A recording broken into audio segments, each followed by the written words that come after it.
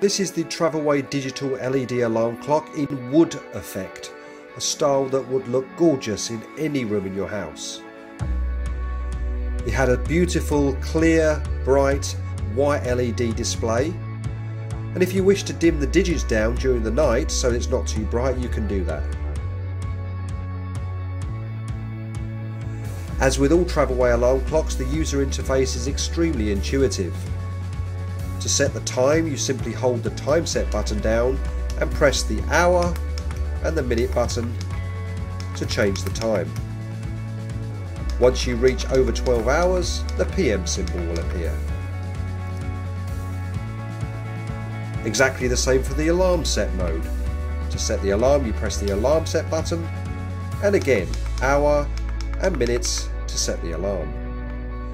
To turn the alarm on, you simply press the red alarm on off button in the middle, and the bell icon will appear to tell you that the alarm is on.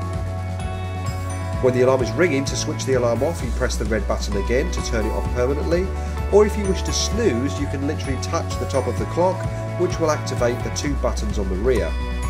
This will snooze the alarm for 5 minutes.